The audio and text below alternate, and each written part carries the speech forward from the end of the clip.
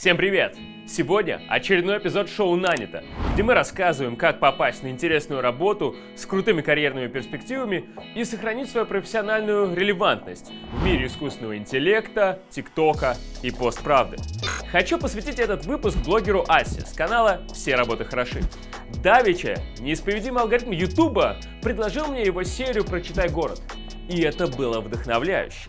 Не на рассказ про собесы на продавцов-консультантов, но на изложение большего контекста вокруг собеседований из наших эпизодов в формате забавных рассказов, историй и по большей части жизнеутверждающих мемов из фильмов. Короче, посовещались мы тут с Лехой Кузнецовым, директором монтажа, и решили, а давай-ка клевый формат братюни позаимствуем. Почему нет? Ну почему нет? Ну вот и заимствуем. Братюня, тебе привет и наш блогерский респект. Дисклеймер. Этот эпизод выходит при поддержке и спонсорстве компании Citymobil, за что им низкий поклон. Так что, как вы верно догадались, коварных разоблачений и печальных историй об изнурительном труде за 43 рубля в час сегодня не будет. Зато вы увидите пример того, что нужно знать и уметь, чтобы вас взяли в будущее. Тут на экране появляются ссылки на наши соцсети, куда вас покорнейше прошу проследовать. Особенно в Телеграм. Писать там проще, чем снимать, и поэтому наших забавных мыслей и заявлений там поболее будет. Как всегда, лайк, шер, коммент. Кстати, говорят, неисповедимый YouTube любит комментарии от пяти слов. Напишите такой, и буду вам признателен. А если расскажете о нашем шоу друзьям в личных сообщениях, на обеде или на очередном зуме, получите плюс 100 к карме и плюс 5 к харизме. Что ж, давайте к делу.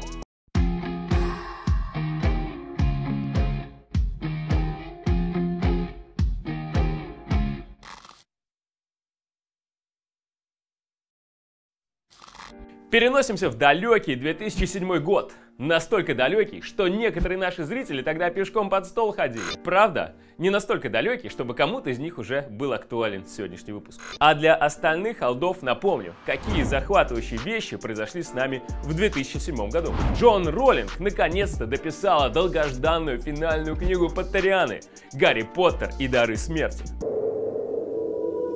Что вы знаете о дарах смерти? Молодой волшебник вырос, как и его читатели. Все население необъятной до 35 лет бросилось регистрироваться во ВКонтакте, а после 35 в Одноклассниках. Помните, как кидали друг друга на стены забавные картинки, добавляли друг друга в друзья, все еще поздравляли с днями рождения и наслаждались неограниченной пиратской музыкой? Кто успел, тот и съел. Геймеры дождались выхода культового Сталкера, в простонародье Ждалкера и Assassin's Creed с его средневековыми пируэтами. Правда, в 2007 году быть геймером было совсем не круто. Бесконечное порицание от родителей, отсутствие каких-либо карьерных перспектив. Не то что в 2021 году, когда победители чемпионата мира по доте поздравляет сам бессменный лидер нации Владимир Владимирович. Кстати, мы поняли, что он наш бессменный лидер нации именно в 2007 году. Тогда же познакомились со сменным лидером Дмитрием Анатольевичем. Тогда же, в 2007 году, Запад заполучил рупор свободы слова Wikileaks, которых с тех пор с переменным успехом пытается заглушить. А мы — Олимпиаду в Сочи 2014, которую с тех пор так и не смогли окупить. Деньги есть. Однако, пожалуй, самое памятное событие 2007 года — это выход первого айфона. Именно ему суждено было изменить, как мир создает и потребляет информацию, чего в конечном счете и строится сегодняшний рассказ. Помню забавный случай из 2007 года, хотя в тот момент он не казался забавным. Достаточно холодный сентябрьский вечер, и одет я не по погоде. Иду на метро, чтобы доехать до общаги МГИМО профсоюзной. Спускаюсь на станцию «Деловой центр». Проездной еще не успел оформить, поэтому нужно купить билет. Смотрю в кошелек, а кэш весь истратил. Только банковская карточка. Ну, думаю, заплачу карточкой, это же деловой центр. Спасибо центру за это. Подхожу к кассе, и ни хрена. Карточки не принимают, только кэш. Банкоматов поблизости тоже нет. Автоматов по продаже билетов тоже, конечно, нет. Google карт еще нет, чтобы банкомат загуглить. iPhone может и есть, но не у меня. Прохожие ничего не знают, конечно, как всегда в Москве. Есть же Ситимобил! Он появился чуть раньше, в том же 2007 году. И тут могла бы быть идеальная рекламная интеграция спонсора, Нет. но не будет. Потому что про Mobile я тогда, конечно, ничего не знал. Знал про бомбил, которых можно ловить на дороге. Сначала машину купят, потом права, а то, что ездить надо уметь. Куда? Но у бомбил нет терминала для оплаты. И перевести на карту Сбера тоже нельзя. Мы же в 2007 году. Короче, страх и совесть, в большей степени страх, не позволили мне ехать зайцем на метро, и я шел два с половиной часа пешком в общагу, проклиная московский транспорт. Потом еще и простудился в придачу. Думал в этот момент, как было бы круто иметь телепортацию. Ах да, к чему это я все? У людей, про которых буду сегодня рассказывать, есть видение, как создать аналог такой телепортации. Городской мобильности, не привлекая внимания санитаров. И есть возможность к этим людям примкнуть. Смотрите далее, как именно. Не, я имею в виду не к санитарам, а к людям-телепортаторам. Хотя к санитарам тоже можете примкнуть. И тебя вылечат, и тебя тоже вылечат, и меня вылечат. А, но не в этом видео. Как же строить телепортацию, не привлекая внимания санитаров? Привлекая данные с айфонов и андроидов и ловко орудуя ими. А как это работает, расскажу через минуту.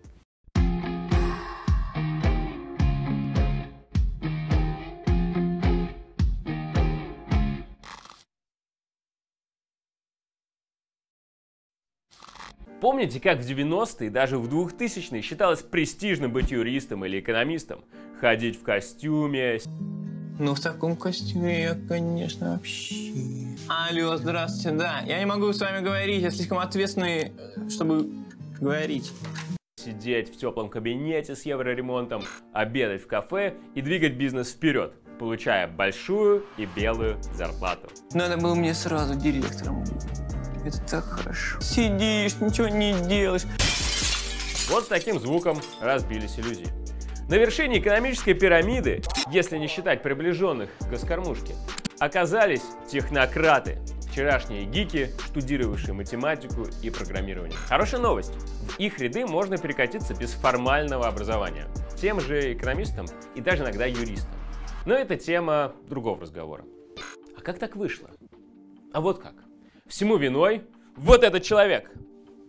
Эндрю Ин, профессор Стэнфорда, основатель Корсера, Google Brain, стартапер, Студент, комсомол, спортсмен. венчурный капиталист и просто красавец.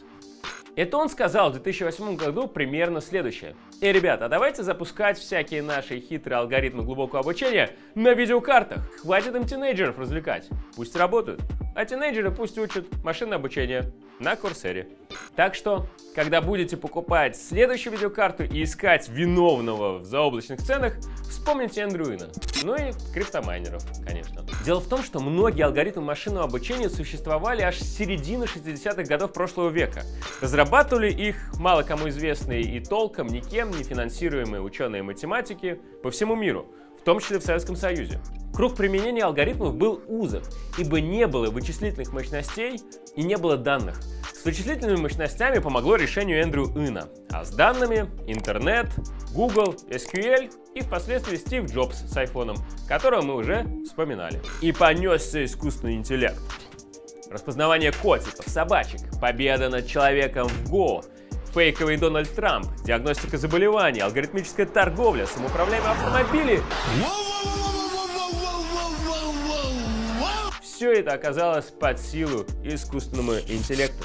На беспилотнике я катался два года назад на метапе разработчиков, и водил он действительно лучше меня.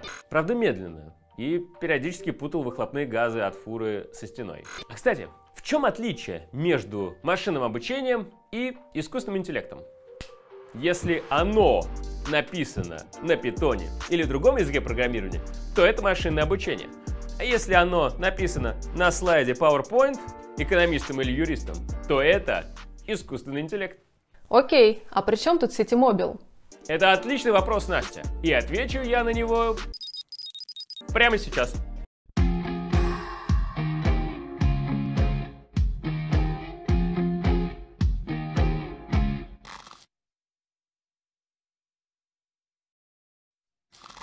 Правят искусственным интеллектом всяческие дата-спецы, дата-аналитики, дата-инженеры, дата-сайентисты, разработчики больших данных и так далее. Отличают эти профессии степень погружения в разработку, математику и бизнес-проблемы, а объединяют возможность создавать умные продукты и услуги еще одна вещь. Зарплата в несколько сотен тысяч рублей. Вот, кстати, скрины с реальными постами о зарплатах из комьюнити Open Data Science, где обитают многие русскоязычные дата-спецы. Зарплаты разных компаний вполне репрезентативные. Как видите, свежий выпускник запросто может зарабатывать 150 кей рублей, а тимлид 400 кей рублей и больше. Зарплаты дата-спецов в сетимобиле раскрывать не буду, ибо они сильно зависят от роли требуемого опыта, а комбинаций великое множество. Но зарплата точно вас не огорчит. Дополнительный бонус – приятный рабочий график и офис с пинг-понгом и даже комнаты для сна. Это уже кадр непосредственно из офиса Ситимобила. Тут он, ребята, в ps решили порубиться. Ладно, не будем им мешать. Теперь давайте вернемся к тому холодному сентябрьскому вечеру 2007 года, когда я шел до общаги пешком и простудился. Как дата-спецы в сетимобиле помогут вот таким бедолагам? Что это за телепортация, которую они строят? Рискуя насобирать дизов от всех поклонников братьев Стругацких, сразу скажу, что 0T кабины по всей России Ситимобил ставить пока не планирует. Риманова складка еще не проколота, хотя над этим, скорее всего, уже работает. Но как и 0T кабина, Ситимобил решает задачу максимально эффективного перемещения людей и вещей из точки А в точку Б, постоянно расширяющимся набором инструментов. Такси лишь один из них как 0T кабина. Мы уже как бы носу смотрим как бы на Ситимобил, как э, на, ну, на се, ну, не, не только сервис такси, а на некий сервис ну, городской, городской мобильности, да. И тут э, есть и каршеринг, самокаты, думаем как бы в сторону общественного транспорта, вот. И, ну, наверное, скоро, скоро еще что-нибудь новенькое придумаем и э, порадуем наших пользователей. На самом деле, даже без мультимодальности задач для дата-спецов в такси хватает. Прежде всего приходится разбираться с ценообразованием. Пассажиры хотят уехать сию минуту, добраться до места назначения, где бы оно ни было, молниеносно и заплатить за поездку как можно меньше. Водители же хотят избежать простоев и получить адекватные деньги за свою работу. Ну что, ребятишки, ехать надо, как говорится. И те, и другие часто жалуются на цену, но в разные стороны. Подружить их запросы – тот еще квест. Решается он не подбрасыванием монетки и не буллингом одной их сторон, а математическими методами. Максимальная эффективность достигнется, как мне кажется, тогда, ну, как бы наши пассажиры хотят, э, все люди на Земле, наверное, на самом деле, хотят меньше платить и очень быстро уезжать. Это основной их так называемый утилити, да, и полезность э, в использовании сервисом, это как можно меньше ждать подачи авто и как можно меньше за это заплатить. У водителя э, как можно больше заработать в единицу времени. Эти две вещи друг с другом конфликтуют. Решить эту задачу максимально эффективно, как мне кажется, да, это мое личное как бы наблюдение, чтобы водитель, который выполняет заказ, остана, ост, э, точка Б у пассажира заканчивалась, стояла в том, в том э, географическом месте, где поступит прямо через секунду следующий заказ. То есть он едет, э, выполняет этот заказ, останавливается, через секунду ему прилетает заказ, который находится в двух метрах от него. Здесь э, что получается? Мы разорвем вот этот порочный круг влияния плотности, и получится, что водитель максимально утилизирован, то есть он постоянно находится на линии, он не ждет заказов, у него постоянно эти, этот приток заказов происходит. А, время подачи минимально, потому что его следующий заказ находится прямо в двух метрах от него, и это позволяет э, чуть-чуть снизить, э, держать чеки более низкими, и обеспечивать низкое время подачи, 2 метра, а водителя максимально утилизировать и максимизировать его заработок. То есть фактически нужно научиться делать так, чтобы машина приезжала, ехала туда, где через секунду будет следующий заказ. Да и кроме динамического ценообразования задач немало. Разработка механики распределения заказов, субсидирование клиентов и водителей, геосервисы всякие, да еще и борьба с мошенниками, типа телепортирующихся водителей, бот-сетей и недовольного рекламными кампаниями мужского государства. В общем, повезло тем, кто в детстве ботал математику и программирование. Кого ищут в аналитические команды Ситимобил? Мы на самом деле ищем э, очень много людей, ну, постоянно ищем и всем разные специализации. Ищем как бы дата-инженеров, ищем системных аналитиков, бизнес-аналитиков, продукт, маркетинг, операции, технических продуктов, э, разработчиков, э, там, дата-сайентистов, алгоритмистов, вот. Ищем, э, ищем разного уровня, там, от э, стажеров там, и джунов до руководителей там, ну, отделов и направлений. У нас достаточно много вот людей, которые э, зака- заканчивали МФТИ и перешли в РЭШ. Это достаточно хорошая комбинация, потому что у них очень сильный там хардскиллы и бэкграунд технический, да, есть. Они понимают, как в том числе разработка устроена, так, что такое высокие нагрузки и так далее. Где-то об этом, по крайней мере, слышали. И РЭШка дает им еще какое-то очень неплохое экономическое. Это прям вот, вот достаточно хорошая комбо. Вот. Хорошо, а что, на твой взгляд, required? Что вот такой минимальный базис, на который же можно все надстраивать, но без которого вообще не справишься с работой?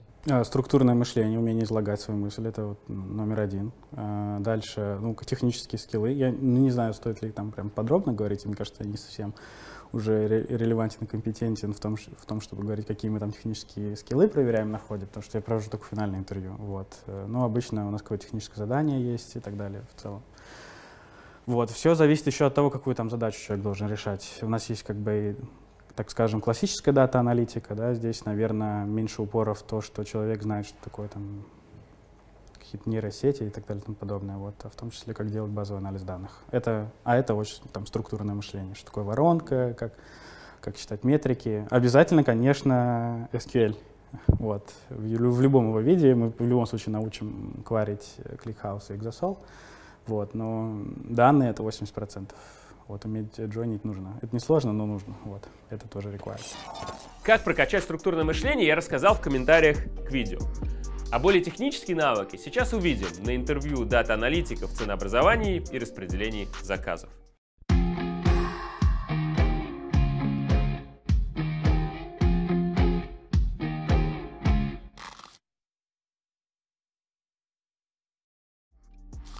И вот сейчас будет куча комментариев в стиле «смотреть с этого тайм-кода», так что для вас, любители тайм-кодов, самое время.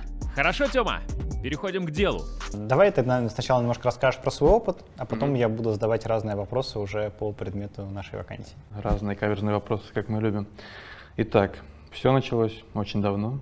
Где-то лет 10 назад, соответственно, я поступил в Бауманку, а, закончил. А, Там была кафедра, связанная с логистикой, и где-то на последнем курсе я решил, что уж что, лентяйничать, пора работать. Вот, соответственно, устроился в страховую разработчиком ВБА, на ВБА всяких страховых калькуляторов. Вот, так что могу с некоторыми людьми поспорить, что Excel это отстой. В принципе, это очень хороший тул. Вот, а, соответственно, потом а, я перешел в такую дистрибьюторскую компанию, занимался аналитиком продаж. Да, то есть мы анализировали различные маркетинговые акции там, по а, зажигалкам, Red Bull и всяким таким штукам. Потом я попал в Альфу, да, там я был таким дата-аналитик слэш дата-сайентист по различным бизнес-процессам. Да, мы оптимизировали различные бизнес-процессы от валютного контроля, оптимизации численности в банковских офисах, ну, много всего делали. Потом на короткое время я очутился в Купивипе. А, Вот, это e-commerce, я думаю, все знают, э, Ламода и все остальное. И там я делал а, различные сортировки товаров, ну, такие небольшие эвристики мы делали, какую-то тоже аналитику по данным, по продажам, по тоже складу и все остальное.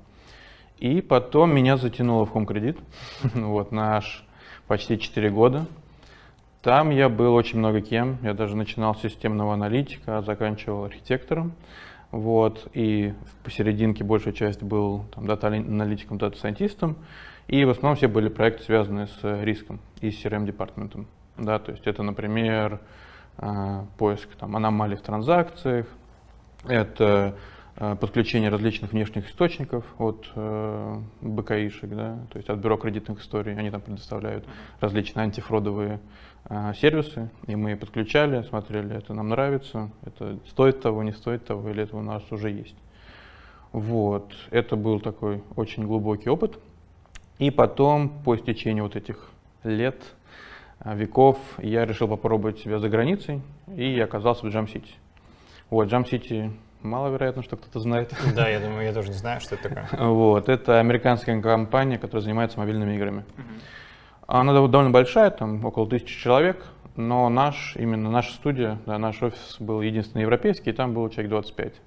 И я был вот единственным человеком, кто был ответственен за все манипуляции с данными. Да, то есть это вот начиная от визуализации данных, там, каких-то ключевых продуктовых метрик, каких-то новых, каких-то воронок. Это анализ текущих проблем, да, допустим, анализ игровой экономики, это создание каких-то моделек. Да, то есть у нас, допустим, не было никаких э, персонализированных офферов, и мы как-то это решили сделать. Сделали это так, кое-как через э, предсказание э, LTV, и в зависимости от него мы там показывали, допустим, много рекламы, мало рекламы, хорошие оферы или плохие оферы. Вот. И сейчас я вот недавно закончил как раз, вернулся в Россию матушку и вот готов, открыт. Расскажи просто про самый интересный, наверное, проект вот за все время. Можно из HomeGrid, можно из Jump City, или, может быть, там из более раннего опыта, что тебе больше там все запомнилось, понравилось. Да, ну, да, я расскажу самый недавний, да. Не уверен, что он прям топ, ну, самый интересный, но в топ-3 точно входит. Мгм. Поэтому, я думаю, достаточно. Это как раз про а, LTV и про рекомендации. А, Понятно, что задача начиналась не с какой-то постановки в жире или в конфлюенте, а начиналась с того, блин, у нас что-то как-то revenue не скачет, у нас retention что-то э, пошел э, вниз и тому подобное, да, что-нибудь придумаем. Вот. Мы подумали, да, то есть у нас нету персонализированных никаких офферов. И решили, а, давай поймем, у нас вообще сколько клиент может принести денег. да, в, и мы должны это понять в первые, там, ну, не минуты, понятное дело, но дни. Вот. Соответственно, стали собирать данные.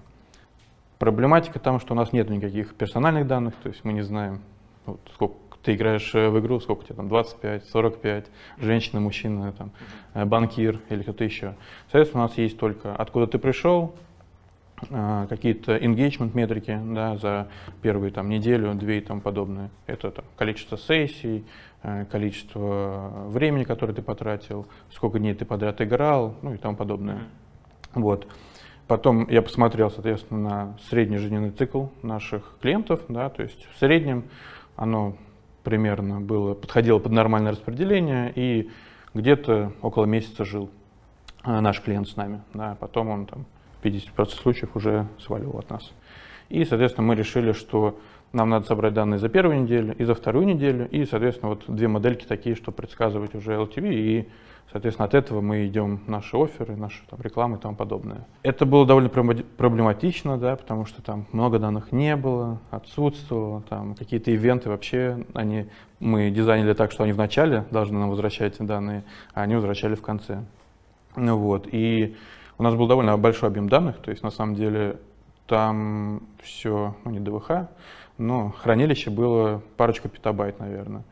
Вот, и это все на Databricks, на Data, Databricks все вертелось. Было довольно модно современно, но тоже тяжело вертеть, когда у тебя такие объемы данных. Вот, но мы постарались исправить большинство. Вот, соответственно, э, собрали определенный пласт данных да, по, по нашим клиентам там, за неделю, за две. И, ну, соответственно, начали там, предсказывать наши там, в лоб пошли, там, э, взяли там Random Forest первый этот, какой-то бейзлайн и зафигачили. Вот, соответственно, потом мы а, сделали чисто по бизнесовым нашим знаниям, что, допустим, если наша предсказанная LTV меньше 5 баксов, да, то мы ему фигачим, бомбардируем рекламу, да, все равно он там ничего не купит, ну, что с него взять, кроме как э, рекламу ему зафигачить. Вот, если хотя бы там от 10 долларов, то уже есть шанс, можно ему поменьше рекламы и показать там хотя бы какой-то офер такой, чтобы его совратил немного. А, вот. И, соответственно, провели какой-то АБ-тест, ну не какой-то, совершенно определенный. Совершенно определенно, хорошо. Да. А, он, мы рассчитывали, на самом деле, то есть мы метрику ставили не какие-то там деньги и тому подобное, а вот retention и какие-то engagement метрики, да, то есть э, чаще ли он стал играть и тому подобное. Вот он показал, э, соответственно, проценте от нашей популяции э, довольно статистическую значимость, и мы решили его дальше раскатывать. Ну, понятно, что не сразу на 100%, а там постепенно, то есть 1, 2, 5, там, 10 и тому подобное. И вот. А интересно, потому что, во-первых, я, по сути, был один, и я только там дергал ниточки, кто бы мне помог, там, не знаю, по инфраструктуре, по какому-то там бизнес-процессам. И вот от начала до конца я был один и, соответственно, э, кооперировался вместе со всеми нашими коллегами. Это было довольно прикольно. М, Окей, а чем все закончилось в итоге? То есть вы раскатили, все прекрасно? Да, то есть всё Много прекрасно. денег Мы- принесло? да, м, в конверсии, то есть именно в количестве не игроков, которые перешли в а, игроков, около, наверное, полпроцента. Для нас это вообще бомба и шик. По деньгам мы тогда еще там особо не считали, потому что мы именно на рост шли, да, то есть чтобы больше просто конверсия, там daily active users и тому подобное. Вот. И сейчас, ну, я уже ушел, но планировали уже там внедрять какие-нибудь именно рекомендационные там системки н- несложные. Когда мы делаем АБ-тест, например, не 50 на 50, как по классике, а, например, 99% к 1%, что меняется? Ну, во-первых, во-первых, для чего мы вообще это можем делать? А, В моей... Страшно, потому что... Да, в моей практике это вот именно, ну, две, на самом деле, две причины. Первое, это страшно, все упадет, и мы все разбежимся и обанкротим э, компанию. Или второй вариант, это мы уже, в принципе, догадываемся по каким-то там ретроспективе и так далее, что вот этот вариант может принести намного больше денег, соответственно, ставим такое соотношение, там, проверяем и уже все, идем дальше, чтобы не терять вот эту недополнительную прибыль. Не, ну, а с точки зрения статистики, там как-нибудь мощность критерия, там выборку нужно как-то считать, то есть что вот под, под капотом АБ-теста, не, не с бизнесовой точки зрения? Да, да. Ну, под э, капотом, соответственно, по выборке она, соответственно, увеличивается, да, потому что а, мы, когда считаем необходимую выборку, да, м, то есть мы, нам нужна, понятно, мощность, понятно, там, какую-то статистическую значимость а, и там, необходимый а, детект, да, ну, как-то эффект, эффект, да, с- соизмеряемый эффект. И, соответственно, вот на эти две группы мы там получаем, не знаю, 10 тысяч людей. Вот, соответственно, нам надо, чтобы это соотношение было м, таким же, каким мы распределяем вот э, АБ-тест. Да, то есть там 99 на 1. Ну, 99 на 1 это такой прям экстремальный. Ну, я да, пример, да, не важно, да, можно 90 на 10, не суть. Да, по поводу мощности э, критерия надо сейчас подумать. То есть мощность это у нас э, вероятность того, э, что мы правильно, э, как бы правильно заполучим эффект, когда он в реальности есть. И надо подумать, и- то есть если мы разделим его на оди- 1,99, он, ну, по логике, да, он уменьшится. Почему? Тут сложно сказать. Ну, на самом деле, да, там есть некоторые нюансы с проведением тестов не 50 на 50. Э, Ну, мы, наверное, чуть попозже э, к этому в рамках, в рамках моих каверзных вопросов э, Да, про это поговорим. Скажи, пожалуйста, а с какими вообще стеками ты работал? Вот э, в Databricks, ну, там, для России это не очень популярный, наверное, стек, а какие, может быть, ты в Home Credit с какими вообще технологиями сталкивался? Да, ну, начнем там с простенького, это визуализации, то есть это, понятно, табло, да, ин- иногда пользуюсь Redash, но такое для прототипирования.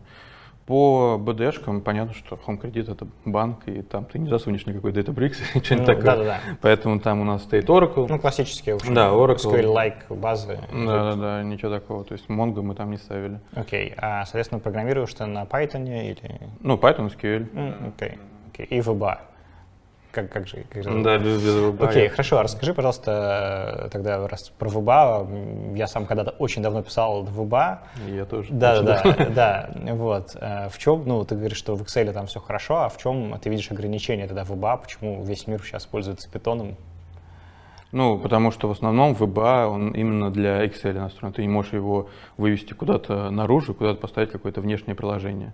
Ты можешь, конечно, это там есть... э, Не-не, и с этим это все понятно, да. Вопрос именно э, там, как там, не знаю, в рамках синтаксиса, в рамках вот э, богатства функционала, то есть вот условно, давай представим, что ну, написали суперкомпилятор на VBA, который там супер удобно сделали Юпитер ноутбуки под VBA. Какие ты видишь, может быть, ограничения в языке? Ну, именно в самом языке это надо подумать, он был давно.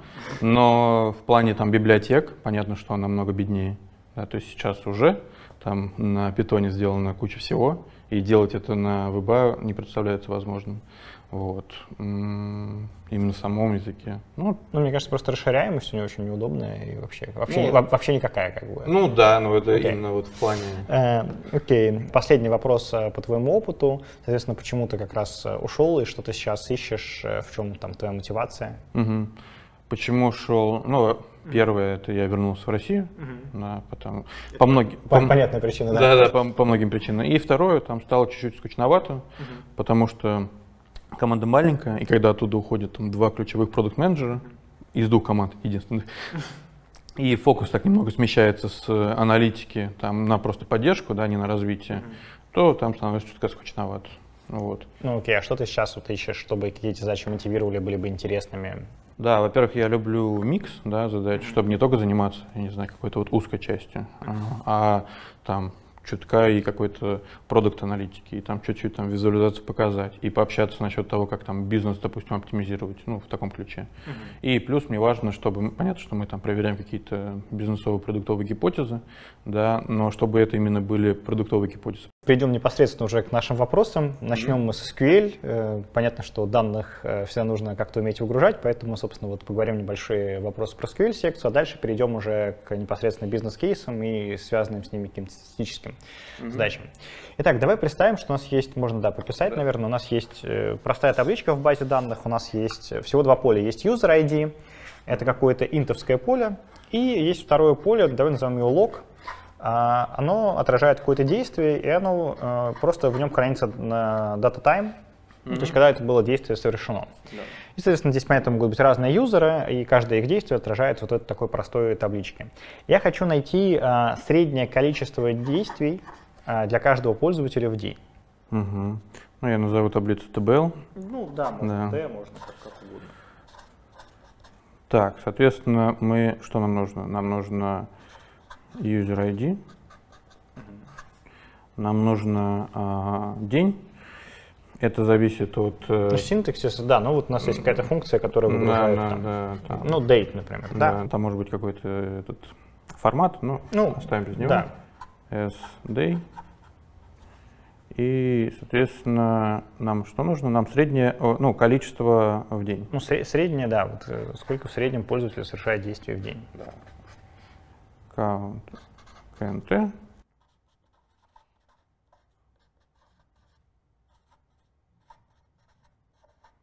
Рубай. Один, два.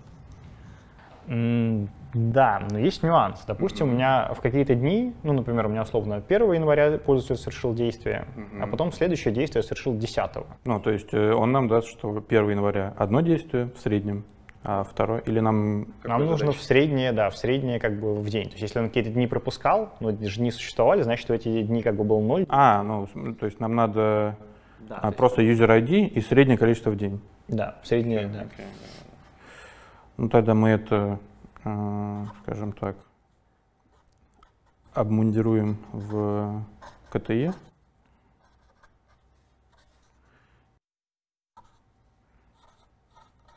Из этого мы селекнем сейчас я from KTE, значит у нас будет user э, ID average упс, KNT. Я надеюсь, понятно. KNT. Ну, примерно так. То есть первое десятое нам даст среднее там 1 плюс 5 пополам. Не, ну у тебя же здесь действие, ты как бы... В чем проблема? Что есть пропущенные дни. То есть, условно, вот, а что выдаст твой запрос, если у меня вот есть, давай табличку напишу, пример просто. Допустим, у меня всего один пользователь, ну, там здесь user ID, э, у него один, один. Ну, и сразу date давай возьмем просто, типа. Это условно первое число и, и десятое. Вот я хочу для такой штуки получить, что первый пользователь в среднем, соответственно, делает две десятых действия в день. Ну, поскольку вот он э, второго числа ничего не делал, третьего числа ничего не делал, четвертого. А, я думал именно, что по его активным дням. Нет, нет, я хочу в среднем, я не говорил про активные дни, я говорю просто в среднем по дням. А вот это, кстати, было не очень. А, то есть, с одной стороны, он вроде как бы отвечал на вопрос, но с другой стороны, было явно видно его невнимательность. То есть он не обсудил важные корнер-кейсы, и мне пришлось на них наталкивать. Так. Да, да-да, у нас вопросы как бы они подразум- подразумевают, что я могу уточнять что-то по ходу, Да, да, что- да, что-то да, говорить да. нечетко. Это нормально. Как и я могу говорить что-то нечеткое. Так, если нам, соответственно, у нас получается здесь а, две... А, ну здесь Ну, а, по одному один- действию, по да, одному да, да. действию, все понятно. Две десятых, все. Это а, логично. М, Ну, тогда мы начнем с... То есть нам надо, по сути, а, выбрать разницу между максимальным и минимальным временем, Мгм. посчитать сумму э, действий, одно поделить на другое. Да, Да, ну можно, я думаю, не писать, более-менее понятно. как. Да, да, да. А есть еще один нюансик. Это уже Э, интересно. К, к этой же штуке.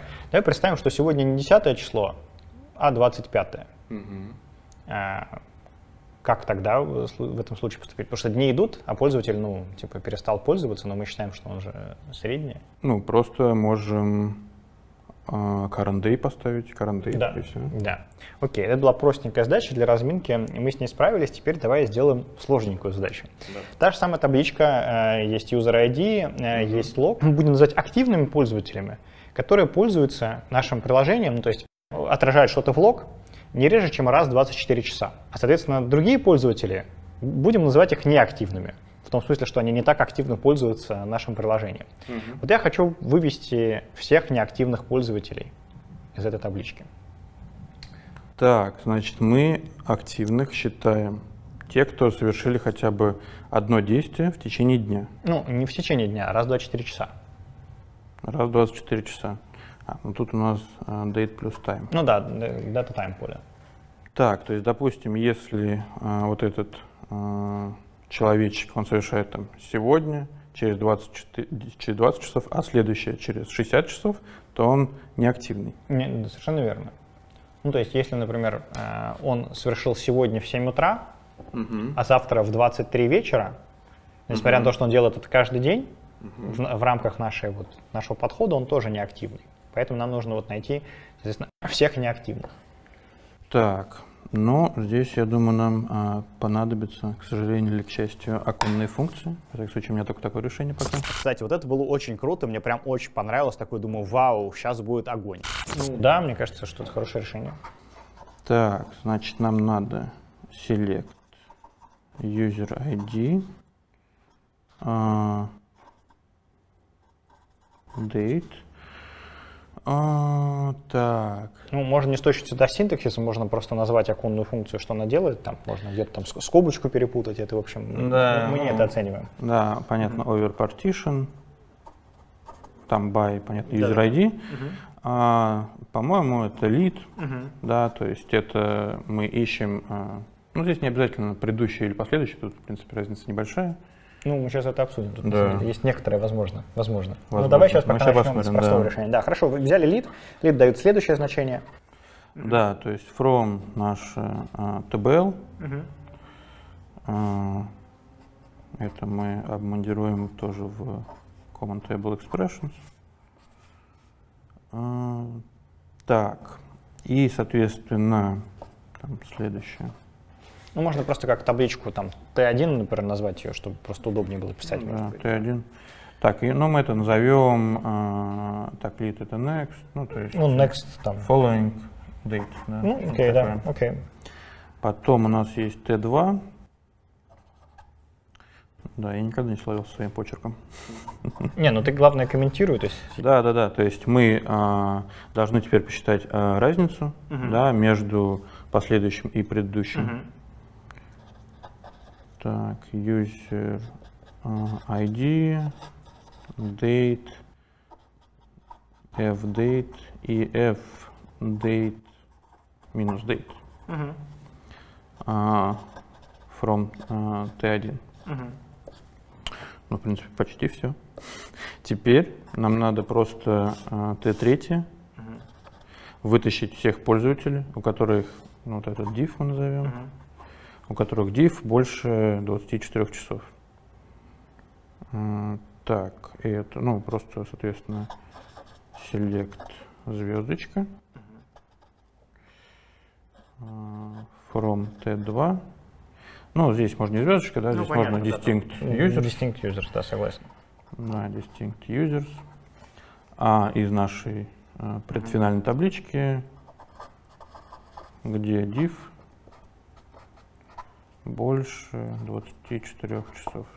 Мгм. Ну, это должно что-то работать, я думаю. Ну, Плюс-минус. плю- плюс-минус, да. Но вот есть вот пара как бы, краевых случаев, хочется Да. их, их добить. Сейчас, давай тогда пр- пример просто сделаем. Так, я думаю, легче будет. Да, давай. Ну, можно вот этот взять как раз. А, ну и да. здесь, э, вот, например, на такой, да- давай допишем как раз, что функция lead напишет в следующий столбец. Вообще, на самом деле, по-хорошему нужно сначала описать тест, а уже потом приниматься за решение. Да. Ну, допустим, это минуты будут, ну, в общем, 10 Ну, да. Здесь будет 10, здесь, здесь? будет null. Да. А, Чё так, будет? И, Будет с, э, 10 минус null. ну, будет null. То есть, в принципе, мы здесь можем просто сказать, что кейс, когда null, то поставим dates или current date. Возможно, скорее current date. Вот, да. Вот это важный момент, что действительно дальше мы должны if null записать current date, потому что мы же до текущего момента. И тогда Ну, у а, нас... ну, да, до текущего. Да, потому что может быть такое, что у нас последний был 10 там, ну, 10 день, или 10 число, а сегодня прошло еще после этого 5 дней, и мы его случайно посчитаем. Окей, мы так хорошо справились э, с SQL, что давай еще одну задачку решим. А, Она чуть будет посложнее. У нас есть, э, допустим, у нас, конечно, в жизни все чуть получше, но, допустим, у нас есть такая штука. У нас есть та- табличка 1, э, в ней есть user ID, это ID нашего клиента, а, driver ID, это, соответственно, э, ID водителя, и время реквеста. То есть, когда пользователь запросил, вот, ну, соответственно, д- драйвера мы подставили в эту штуку, да, то есть, условно, сначала пользователь запросил заказ, потом, появился драйвер, и есть вторая табличка, ну, допустим, мы так сделали, разумеется, в жизни у нас, еще раз повторю, получше, которая отвечает за прием этих заказов. А, Есть user ID, есть driver ID и есть time acceptor. Ну, вот. А, Не всегда request Совпадает за- за- заканчивается accept. А, Разумеется, да, ну, э, как бы, конечно, мы так не храним данные, но вот, допустим, кто по какой-то причине так решил похоронить данные. И мы хотим понять э, среднее время приема заказа. Так, сейчас это мне надо сообразить. Среднее время приема заказа. Да, ну то есть если бы у нас, э, условно, все заказы, во-первых, принимались, ну то есть, да, вот есть какой-то заказ, который, соответственно, драйвер по какой-то причине не принимает, тогда в этой табличке не будет записи. Вот. Э, Мы такие заказы давай просто откинем. То есть те заказы, которые не были приняты, э, для- в, там, в самом простом кейсе мы их откинем, в самом чуть более сложном, понятно, что просто будет назначен другой водитель. Вот, это тоже нужно будет как учесть. Давай начнем пока с простого кейса. Да, то есть нам надо посчитать время от э, реквеста до акцепта Да. в среднем по юзеру. Или, или Ну, в просто- среднем по заказам, наверное, нам мы хотим. А, по, Да. по заказам. А В блоке вопросов на SQL я пытаюсь понять, насколько человек хорошо понимает бизнес-задачу в терминах данных. То есть насколько он хорошо может с этим разобраться. И вот последняя задачка, где структура данных настолько плохая, настолько глупая, с которой человек вряд ли мог сталкиваться на работе, как раз и показывает, как человек будет обрабатывать такие сложные кейсы. Так, ну тогда мы... Да, как мы проговорили, то есть если у нас нет акцепта, то мы такую э, табличку, ну не табличку, Ну, а такую, строчку да. не берем. Мгм. Тогда мы, ну, пока ничего не будем выбирать, мы посмотрим from.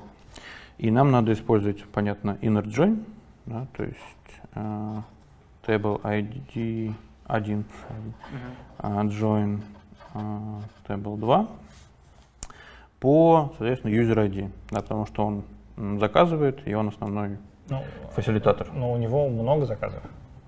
У каждого пользователя. Он же не один раз заказывает такси, он заказывает много такси. Он зак- А, логично. Тогда просто по двум ключам, да, то есть по user ID и по driver ID. Но это тоже может продублироваться. Да. В- именно в этом и подвох этой задачи. Давай, ну, то есть понятно, что нужно джойнить, очевидно, по двум полям. Мгм. Вот. А может быть и по трем. Ну, по трем не можем, потому что время реквеста не совпадает с accept. Да, но мы можем, допустим, посмотреть, чтобы разница между акцептом и, и реквестом была, допустим, как assumption, да, меньше, ну, часов полтора, да, вот так вот. Ну, мне кажется, очень, очень такое, да, с большим запасом. С большим запасом, С да, большим запасом. Ну, хорошо, давай, как это сделать-то в коде теперь? На словах понятно, действительно выглядит логично. Мы хотим поджойнить э, юзеров и драйверов, так что вот эти штуки не сильно между собой различались, а потом, ну, дальше что делать, потом понятно более-менее. Ну, да, то есть эм, будем мы э, джонить user ID. Мгм. Ну, я не буду Ну да, ставить, да, э, user ID на user ID, ну, это понятно, э, driver ID на driver ID тоже понятно. Да, я просто напишу d1 равно d2. И, то есть у нас будет а, time, так, сейчас, time а, request, и здесь у нас будет time Ну, accept. И сейчас я соображу, что здесь надо написать. Так, сейчас. То есть нам нужно... А, ну это можно с двух сторон. Ну, наверное, вот так. Минус Ну, полтора часа.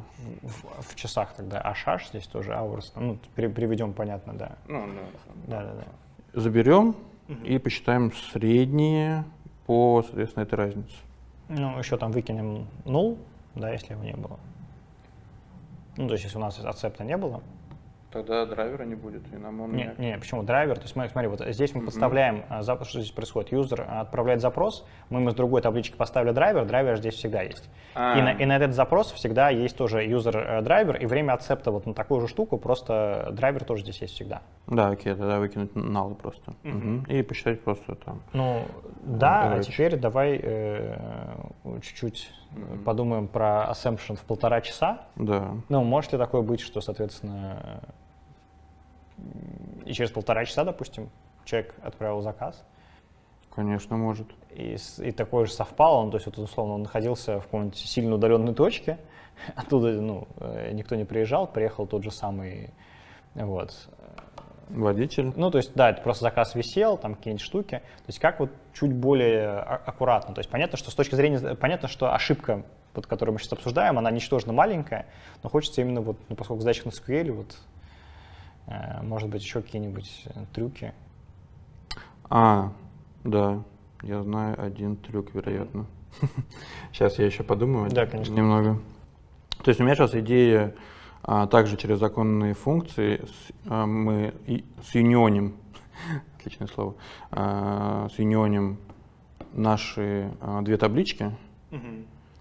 Только единственное, мы еще укажем, что вот этот это, а, это ну, дополнительно сделаем как-то колон, да, то, что это а, request, а это accept. И будем смотреть а, следующее а, время, и потом вот это, и все. Это будет один заказ. Да, ну, то есть Вот как раз такая. можно искать следующее, если оно null, то, соответственно, ну, значит, заказ не совершился. А, ну, тогда давай прославим, проговорю, чтобы уже закончить с SQL. Нам на самом деле нужно найти следующий вызов этого же пользователя, потому что, Да, скорее да, всего, он не уехал. А вот это был нестандартный ход, очень редко собеседуем идет по такому пути, и это очень круто. Бизнес-решение, которое говорит, что мы будем запускать э, наш сервис э, в тех городах, где средняя зарплата э, 50 тысяч рублей, ну или, соответственно, выше. А, И ну, у нас нет точной статистики, поэтому мы просто приходим и делаем соцопросы. И, значит, соответственно, приезжают, э, опрашиваются 100, э, тысячи человек в одном городе, и получается, что у них э, средняя зарплата, выборочная средняя, да, вот по этой тысяче, 49 тысяч рублей. А при этом дисперсия 2000 рублей. Будем мы, соответственно, запускать сети мобил в этом городе или нет? Ну, суть, что нам надо сделать, в принципе, понятно, да? То есть Да. нам надо построить confidence intervals. Мгм. Да, сори, что на английском Да-да-да. я... Доверительный интервал по-русски. О, да. я просто на русском я проходил все курсы на английском. Да, конечно. Я в состоянии перевести. Да, да, да. Вот, а, соответственно, а, что это у нас? А, Насколько я помню, то есть нам надо, понятно, выбрать, соответственно, significance level, короче, да, то есть, допустим, 95%. Вот. Окей. А, То есть уровень значимости, допустим, мы предполагаем 95%. А, Точную, точное значение я не помню. Ну, формулу это. можно не написать, можно идейно просто. как Да, построить. то есть у нас будет а, наша а, average а, плюс-минус вот это значение а, от нашего... а, Можно по-английски, если... Да, statistical Да. а, Ну, в общем, да. level. Да, то есть, ну, это, по-моему, 2.96, но тут я могу ошибаться. Ну, неважно. Допустим, ты посмотрел это в таблице. Да, Да-да-да, это Это слаб- не, не точ- точно не предмет нашего собеседования. Да, слава богу, доступно. И, соответственно, на, ну, насколько я помню, там среднее квадратичное отклонение, да. А как-то зависит, в этой формуле знаешь, что не хватает? Да, вот. Вот. Я вспомнил. Э, N не хватает, да, то есть э, теперь давай проверим просто по смыслу. Э, При увеличении N что должно быть с доверительным интервалом? Да, то есть при увеличении n оно, он должен снижаться, Мгм. да, потому что чем больше мы знаем, тем больше мы уверены в своей оценке. Ну, Окей, ну естественно, что а, попало 50 тысяч в доверительный интервал. М, А бизнес наше решение будет какое, что А Бизнес, наше решение будет, что мы а, туда внедряем, но, возможно, даже в то, что мы ошиблись.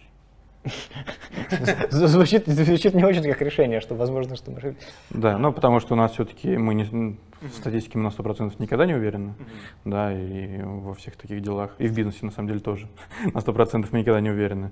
Поэтому и у нас а, попадает это довольно уверенно, там, насколько я там в уме посчитал, а, наше значение 50 тысяч, поэтому мы запускаем.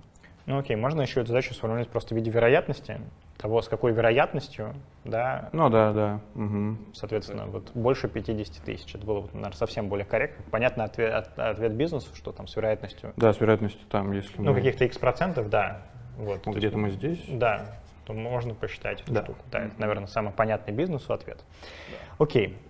Статистикой будем считать, что справились. Давайте теперь уже непосредственно э, бизнес-кейсы решать. Начнем мы э, с такого бизнес-кейса. Э, допустим, м, я захотел э, провести АБ-тест какого-нибудь интерфейса, ну, например, кнопочки, э, и попросил своего аналитика раскатать этот бизнес-кейс на Москву и Московскую область.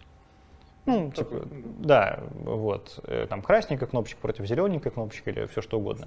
И у нас а, получилась следующая история, что версия B выиграла.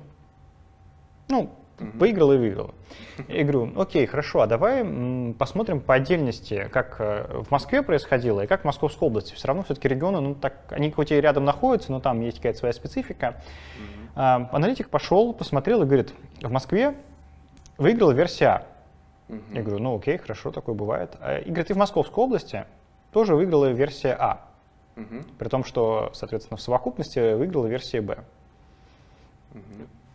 Что будем делать? Я помню название этого парадокса. Это уже прекрасно. Да, это Симпсон парадокс. Мгм. А, то, что как раз если мы а, разделяем на категории, мы получаем немножко другое, если мы получаем в сумме. Но вопрос, что теперь делать? Да, вопрос, да, то есть как бы мой наводящий вопрос, если бы ты не знал про парадокс Симпсона, мы сначала обсудили, может ли такое в принципе быть или аналитик ошибся, но поскольку ты знаешь о том, что такой парадокс существует, то аналитик не ошибся. Действительно, все данные честные.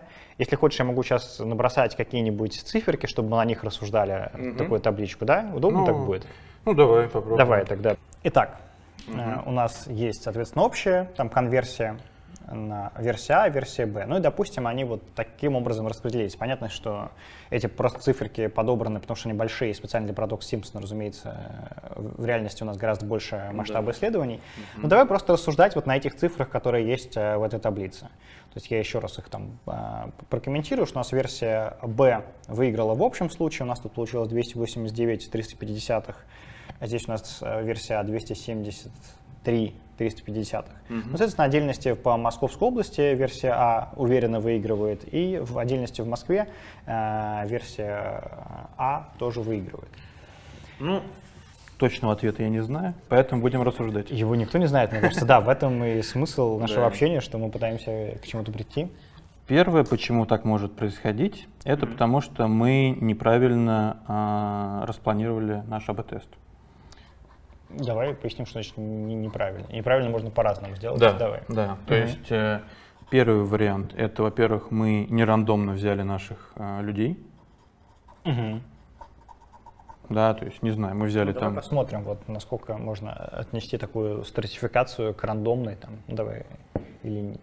М, Ну, это сложно сказать по 350 людям. Не, ну, Но ну, видно, что здесь есть какой-то дисбаланс. Да, в, в А и Б. Да, то есть мы, во-первых, у нас отношение да, а, классов, то есть, ну, примерно один к трем, а здесь три к одному. Да. М, Вот, соответственно, это также немного не рандомно.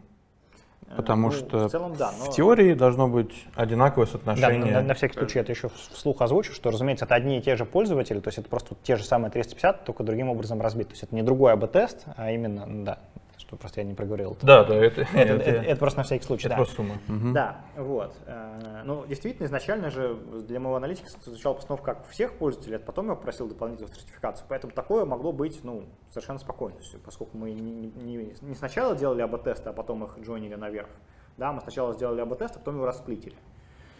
Вот. Ну, это, то есть, как бы... Да, это понятно, но все равно Нет, стоит я- проверить нашу рандомизацию, да, нашу сертификацию в том числе, потому что, ну, Мгм. чисто случайно это есть вероятность. Есть но вероятность, да, маленькая. любая, в принципе, она Да. маленькая, И, да, и выглядит плохо. Согласен. Что еще может быть? А, Соответственно, также то, что мы неправильно, это по sample size, да, то, что мы взяли недостаточное пока количество а, клиентов, чтобы судить о том, что победило. Мгм. Ну, на примере 350 это более чем вероятно.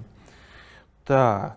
э, Ну, давай будем считать, что здесь просто цифры, так чтобы они наглядные были, поставил. То есть, допустим, будем Поставим считать, что- пару ноликов. Ну, да, можно там, соответственно, докрутить что-то, чтобы они были, то есть sample size э, в- конкретно на этих цифрах согласен, ну, глобально будем считать, что просто, ну, чтобы не писать портянки, да, я взял вот извест- Да, да, да. известный Ну, пример. это просто как э, вариант. Да, хорошо. Так, это то, что мы неправильно а, спланировали АБ-тест. Что еще мы могли неправильно сделать? Ну, во-первых, да, и ну, это связано с а, вот с sample size, да, это как раз то, что я хотел сказать, да, по поводу p-value, то есть, да, ну, здесь, конечно, вероятно, что оно статистически значимо. Да, но на самом деле- Но вопрос... Значимость, да, понятно, что вопрос порога. То есть Да. понятно, что условно, ну, во-первых, ответ такой, что всегда могу, во-первых, p-value подобрать так, чтобы все они точно были статистически значимы, но здесь даже на нормальном уровне, ну, видно даже, да, что вот здесь, там, здесь, э, сколько там, 78 против 83 на 350 выборке, в общем. Тут можно, в общем, в этом не особо сомневаться. Но окей, да. Можно, как вариант. Можно поиграть в p-value, согласен, тоже стоит рассмотреть гипотезу. А какие у нас, может быть, бизнесовые инструменты вообще выхода из этого кейса есть? То есть понятно, что ну, ситуация Да. непростая. А, Какие могут быть а, бизнесовые? Ну, э, понятно, что а, первый бизнесовый вариант это провести еще один раз АБ-тест. Мгм. Отдельно для Моск- Москвы, отдельно для Московской области. С, Допустим, правильным, с правильным сплитованием. С правильным сплитованием, с правильным там и с Да-да. размером и тому подобное. Мгм. Это один вариант, если он не суперзатратный. Да, это важно, кстати. Так, и если он, допустим, затратный или еще какой-то вариант мы можем предложить. Ну, всегда есть вариант ничего не делать, оставить как есть. Ну так, а какой вер... что же ничего не делать? Просто вот крутить АБ-тест, поставить так? Не-не-не, имеется в виду, вот у нас есть, у нас же есть существующий уже функционал, допустим, зеленый, да, кнопочка, Ну, а мы сравниваем ее с красным. Мгм. Если у нас такие несовпадения, и мы не уверены, можем просто оставить зеленый, как бы ничего не делая. Ну, не знаю, вот здесь очень сомнительно. На самом деле, я не стал здесь давать негативный фидбэк собеседуемому, чтобы просто его не сбивать, потому что в целом он шел хорошо. Но звучало это, конечно, не очень, и я для себя ответил небольшой минус. Ну, окей, да, такой вариант, согласен, есть. Ну, возможно. согласен, да. Его тоже можно рассмотреть. Да, то есть, а, мы еще, чтобы все было отсортировано, то есть Да, да, оставить как есть, окей. АБ-тест провести а, новый Мгм. и оставить как есть. Ну, то есть в конечном счете бизнес хочет определиться, конечно, что поставить. То есть понятно, что оставить как есть тоже, в принципе, Это тоже может быть, да, вариант. можно зафиксировать там, в правилах компании, что если мы встречаем парадокс Симпсона, мы оставляем как есть. Ну, не совсем. Во-первых, а, ну и с точки зрения вот а, тоже неправильного АБ-теста, возможно, мы не учли там сезональность, да, то есть, возможно, мы запустили просто на пяти днях, а выходные не забрали. Ну, Ну, есть давай такое. считать, что такого нет. То есть, действительно, нормально была бы теста, что, ну, как бы, сезональность. Мы конкретно пытаемся разобраться с парадоксом Симпсона, а не уже не, не с другими вещами. Ну, понятно, один вариант это а, про- продолжить пока АБ-тест. Это всегда вариант. Но это также связано с этим. Мгм. Так, а какой еще есть? Да. Ну, продолжить, потому что, может быть, это какая-то новая функциональность, там что-то люди непонятные, там, и потом, то есть у них уже стабилизируется а, их конверсия. Ну, окей, давай еще такой вопрос. В принципе, гипотез достаточно хороших, интересных накидал. Э, обсудим вопрос, он довольно важный. Мгм. Можем ли мы объединять эти группы? Часто парадокс Симпсона вообще возникает, э, когда мы объединяем э, две не сильно связанные между собой группы. Я приведу пример. Типа мы объединяем, условно, группу до 18 лет с, г- не знаю, пользователями из Сыктывкара, например. Ну, Не самый плохой вариант, ну да. Да, ну то есть, и они там условием, что они не пересекаются, ну, например. И тогда действительно в таких кейсах э, в- возникает парадокс Симпсона, но разрешается тем, что мы как бы объединяем не группы, и, в общем, как бы объединение, не- в общем, не- некорректно, так нельзя делать. Ну, но здесь э, вот ка- кажется, или нет, или вот здесь есть э, пр- причины, по которой, например, нельзя объединять наверх, тогда, мы- это, собственно, один из хороших способов решения парадокса Симпсона глобально. Он, Мгм. он состоит в том, что мы э, пытаемся доказать или там как-то аргументировать то, что вот эти группы наверх нельзя объединить. Ну, то есть вот, например, у нас есть э, пользователи Сыктывкара и пользователи до 18 лет. И мы их, вот там и там выиграла версия Б, потом мы их объединили, и выиграла версия А. Ну, понятно, там, в общем, довольно интуитивно понятно, что объединять наверх здесь нельзя, не, не совсем корректно. Да. Вот. А, Парадокс Симпсона может и не возникать по этой причине. Вот здесь, как ты считаешь, можно эти группы объединять и... или здесь есть какой-то подвох? Если нет, то, в принципе, молекулярный гипотез. Ну, это смотря какой у нас, понятно, то есть какой у нас, э, какой у нас бизнес, да, от чего он зависит. В общем, наверное, не стоит объединять, потому что поведение а, людей Московской области как бы отличается от Москвы, ну, понятно, тоже от какой Москвы. У нас сейчас Москва довольно большая. Вот, но в среднем оно отличается. И это, конечно, не тот же пример с до 18 с Сыктывкаром, но что-то похожее. А давай еще ответим на такой вопрос. Мгм. Как думаешь, вообще в целом, а где пользователей у нас больше? В Москве или Московской области? Ну, в Москве, очевидно. Да, то есть на самом деле понятно, что здесь э, выборки, они более-менее одинаковые, Мгм. и это может сильно сместить. То есть по-хорошему действительно правильно. правильный поинт про правильное сплитование. Действительно, если мы сделали такой тест и, попали на пара- парадокс Симпсона, один из самых там, так сказать, честных способов, во-первых, внутри здесь правильно расплитовать, во-вторых, сделать эти выборки в Москве и Московской области пропорционально общему, ну там, не знаю, количеству юзеров и так Да, далее. всё правильно, да. Вот, ну и да, есть как бы другие бизнес-решения, что пока можно действительно оставить как есть, если мы не уверены. Ну, то есть действительно, если мы встречаем парадокс Симпсон, на практике э, нет однозначного решения, то есть нельзя э, на, на то он и парадокс, почему на него действительно много обращают внимание. Это был вопрос про парадокс Симпсона. Мне на самом деле было не так важно, знает ли мой собеседуемый парадокс Симпсона или нет, скорее было важно, как он разбирается со сложной ситуацией. И в принципе было даже хорошо, что он его не знает. Он знал название, но не знал основных идей, как с этим работать. И в этом случае мне очень важно, чтобы человек нагенерил как можно больше гипотез.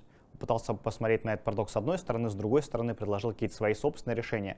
Пусть они, может быть, не всегда правильные, но важно, что человек действительно может с такой сложной задачей справляться на практике. То есть, когда он появляется для него новый кейс, новая сложная задача, он действительно видит и пытается найти какие-то разные решения. И, кстати говоря, у нас так и не прозвучало правильного, может быть, ну или максимально правильного ответа в рамках собеседования. Поэтому, если у зрителей этого видео есть какие-то свои комментарии, свои идеи, пожалуйста, оставляйте их под видео, и самый лучший комментатор получит приз в виде возможности пройти у нас настоящее собеседование. Давай, давай решим еще одно. А, скажи, пожалуйста, ты когда-нибудь пользовался нашим приложением? Да. Вот, чудесно. Ты наверняка знаешь, что у нас есть, соответственно, тариф эконом, комфорт, комфорт плюс, там бизнес, Да, доставка, да. доставка и так далее. И э, к тебе приходит продукт-менеджер и говорит, я придумал новый тариф и хочу назвать его эконом плюс или комфорт минус. Вот, и вставить его, соответственно, между экономом и комфортом. И у меня для этого все есть. У меня есть для этого, соответственно, машины специально подобраны, у меня есть там водители и так далее. Я хотел бы, э, соответственно, попросить твоей помощи провести такой эксперимент, и как-то понять, хорошая моя гипотеза или нет. Ну, мы считаем, что у нас технически, то есть мы сейчас вот не будем уходить там про техническую постановку серии, что в приложении нужно правильно выкатить, там водитель найти. То есть у нас считаем, что технически все заряжено. Наши Да, разработчики да. идеально Мгм. справились, могут выкатить, э, вот. все как нужно, Всегда соответственно. Да, ну, наши разработчики именно такие. Вот. э, Как нам провести такой эксперимент? И, соответственно, ответить на вопрос, нужен ли нам такой тариф э, в нашем бизнесе или нет. Ну, я бы начал а, с момента такого, да, то есть у нас каждый а, тариф А, чем-то знаков, да, то есть это не только а, цена, но это и машины. Да, будем считать, что у нас вот есть в Экономи Плюс, мы нашли какие-то специальные машины, э, не знаю, там, э, например, Хаммер, мы решили, что у нас Экономи Плюс будет на Хаммер, ну, какой-то новой машине, то есть ну, никак не пересекаются, Окей, ну, окей, для да. простоты. Вот, то есть, и мы там специальным образом, какие-то другие аналитики посчитали цену или там, не знаю, специалисты по прайсингу. То есть у нас Мгм. вот про, тариф мы, все, все он выбран, просто вот нужно протестировать. Окей, да, вопросов тогда нет. Потому что мой первый был э, пункт, то, что мы же не зря такие тарифы сделали, и машины там, между ними уже нет никакого класса, скажем так, Ну, машин. Я Да. согласен, что на самом деле, да, это немножко модельный, разумеется, пример. Да, так, значит, у нас... Ну, если а, хочешь, тариф- это может быть тариф, например, джип, его можно поставить между комфортом и комфорт плюс. Кто-то, например, любит на хаммерах, там, ну, на, на больших внедорожниках ездить, там, назовем тариф, там, не знаю, а, большая машина, и поставим его там где-нибудь. Ну, если, ну, просто здесь... Да, то есть э, нам надо вначале определиться, а что значит вообще успешный. Да, то есть вот мы запусти- запустим тариф, и что значит вот успех, Да, не успех. И, и продукт-менеджер, это вопрос, собственно, тебе. Ты же аналитик, давай метрики какие-то посмотрим. Я просто в идее, в продукт, все для людей, для счастья пользователей. Какие метрики мы выберем? Да, давай вместе посмотрим. Да, да, да. Давай Вот. придумаем вместе. Да, а, первое, а, так, сейчас, у меня уже с первым пока проблема. то есть, а, как, то есть, это с точки зрения, во-первых, приложения, да, то есть, это ну, какие-то стандартные метрики в общем, да, вырастет ли там какой-то DAO, MAO и тому подобное. Там, э, возможно, если мы там как-то повышаем, то э, сред- э, средний доход на активного клиента, да, или на обычного клиента. Ну, да, Какие-то допустим, такие вещи. денежные метрики, да, там, будем считать ее какую-то там выручку на пользователя и что-то такое. Да, ну плюс у нас также есть там конверсия, да, потому что когда человек заходит, он может и уйти, да, то есть там много есть причин, Да, есть. цена не устраивает. Ну, есть отток, наверное, скорее, потому что конверсия, она как-то связана с, с этой штукой все-таки. А, ну, наверное, да. Ну, давай, да, назовем это вообще метрики какого-то там клиентского взаимодействия действительно важные. Типа ретен, то есть типа ретеншн или оттока. Действительно, Мгм. что если у нас выручка растет, при этом растет и отток, то в будущем, в, в- концов. в- в будущем, скорее всего, выручка тоже начнет падать. Да. Э, С этим согласен. Ну, с точки зрения клиента, да, то есть, допустим, возрастет ли э, в среднем там чаевые, я не знаю, э, как-то мы это делаем, Ну, э, давай- оценки и тому подобное. Ну, про чаевые, наверное, нет, это все, ну... Ну, а, ну окей, мы здесь сделали денежные. Да, окей. денежная, отток согласен. В принципе, Отток. мне кажется, метрик достаточно. Может быть, если какая-то важная тебе сейчас приходит в голову, давай запишем. Такие маленькие, типа чаевых, наверное. э, Ну, это все завязано, да, на ретеншн. Ну, они, да, они просто скоррелированы с ретеншеном, Да. согласен. Ну, допустим, выбрали, вот, не знаю, там, доход каком-то там, какой-то ипостаси, сейчас не, не будем уточнять, ну, допустим, там, ретеншн. Э, Теперь, ж, ну, ме- с метриками определились. Что дальше? Как будем проводить эксперимент? Ну, понятно, то есть, что нам надо э, первое, то есть разделить пользователей на А на Б. У одних мы этот тариф показываем, у других мы говорим, что джипов у нас нету. Ну, да, допустим. А, Не видишь ли ты каких-то проблем, может быть, при проведении АБ-теста? Ну, я, м- много проблем тут возможно. Как с обычным с- этим я согласен, да.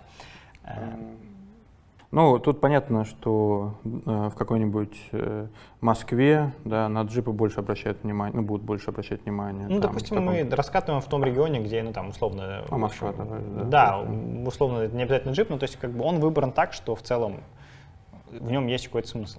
Мгм.